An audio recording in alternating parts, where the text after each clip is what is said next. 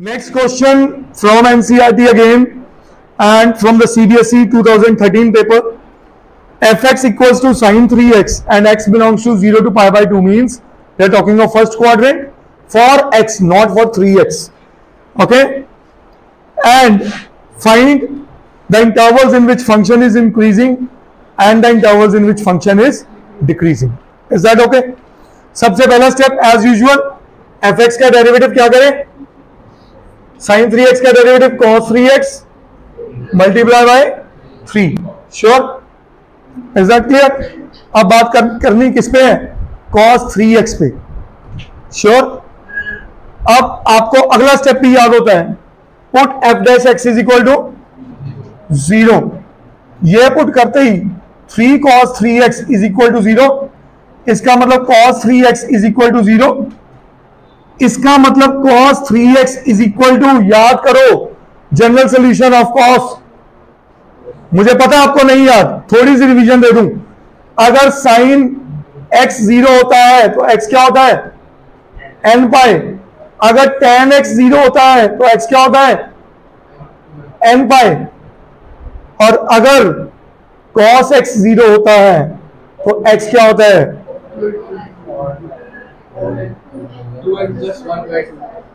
नज़दीक है two N plus one वो आप मिक्स करके। आप करके cos y is equal to cos x इसका रिज़ल्ट है two n plus one into pi by two इसको याद करने का भी तरीका होता है कि हाउ टू इसको ऑड पाई बाई टू बोलता हूँ मैं। क्या बोलता हूँ? ऑड पाई बाई टू और ऑड कैसे रिप्रेजेंट होता है? टू एन प्लस वन से। इसको याद करने का एक और तरीका समझो। ग्राफ याद है कॉस का? कॉस का ग्राफ कुछ ऐसा होता है बेटे। याद है? बोलिए।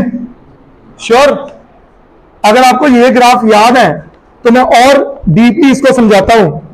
यहाँ होता है ज़ीरो, यहाँ क्या होता है? Pi by two. और यहाँ क्या होता है? पाई। यहाँ क्या होता है? Three pi by two. यहाँ टू पाई और यहाँ फाइव पाई बाई टू। हर बार वैल्यू ज़ीरो कहाँ रही आएगी। Pi by two, three pi by two, five pi by two. क्या टू पाई बाई टू आया? नहीं आया। फोर पाई बाई टू आया, नहीं आया। सिर्फ़ कौन से पाई बाई टू आए?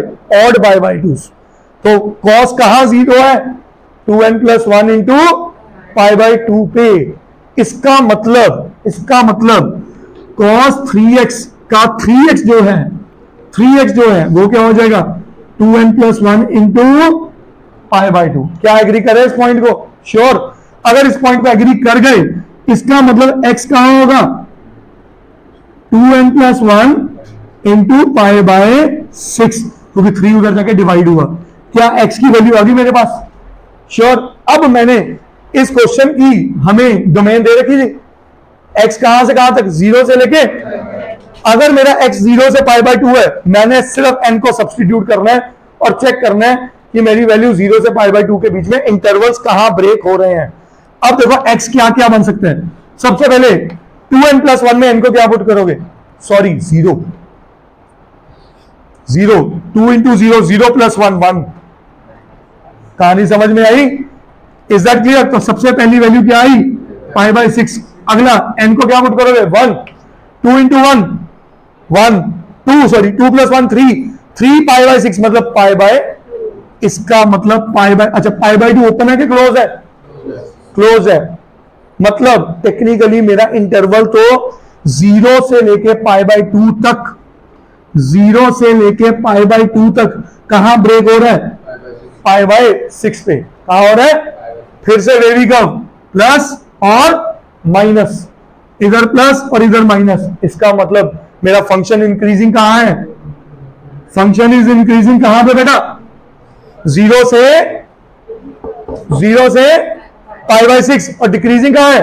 सॉरी उल्टा बोल गया इंक्रीजिंग कहा है? पाई बाय सिक्स से, pi by two, pi by six से, pi by two. And function is decreasing कहाँ पे है? Zero to pi by six. क्या ये बात समझ आई? Is this point clear pi by six पे तो फ़ंक्शन न्यूट्रल हो गया ना। इज़ दिस पॉइंट क्लियर देखो, मैं फिर से समझा रहा हूँ। पूरा क्वेश्चन पहला स्टेप डेरिवेटिव डेरिवेटिव को ज़ीरो पुट किया क्रिटिकल पॉइंट आया। जब भी साइन कॉस टेन आए, ये तीन रिज़ल्ट याद करो हमेशा। इस चैप्टर की खासियत, आना ही ज़ीरो के बराबर है। मतलब जनरल सोल्यूशन सिर्फ़ तीन आने चाहिए। हाँ जी? मेरे बच्चे ऑड नंबर्स को प्रेजेंट दो तरीके से किया जाता है। Two n minus one and two n plus one two n minus one करना है तो एन को वन पुट करना आता है। और टू एन प्लस वन करना है तो एन को ज़ीरो पुट करना होता है, तभी वन से शुरू होता है। Two into zero zero plus one one तो ऑड नंबर कहाँ से शुरू होता है? वन से कि थ्री से? तो फिर एन को क्या पुट करोगे? ज़ीरो मेरे बच्चे, अगर एन को ज़ीरो पुट करूँगा two into zero zero plus one odd number कहाँ से शुरू होता है? वन से। तो ये एक बात समझनी है आप सबको। जब भी टू एन माइनस वन लेना है तो आप एन को कहाँ से पुट करना शुरू करोगे? वन से। और अगर टू एन प्लस वन लेना है तो एन को कहाँ से पुट करना शुरू करोगे? ये सेवन सिक्स सेवन स्टैंडर्ड की बातें हैं। हाँ जी। ज़ीरो क्लोज ही है। दोनों क्लोज है। इज़ दिस पॉइंट क्लियर करिए नोट हाँ जी।